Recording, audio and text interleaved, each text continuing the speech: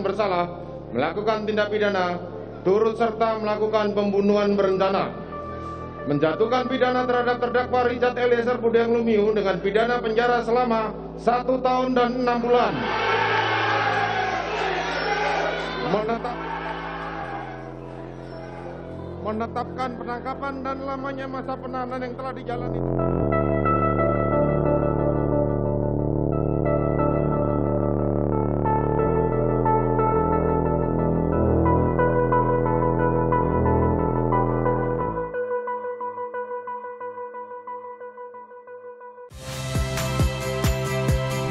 Saya Rahmat Ibrahim.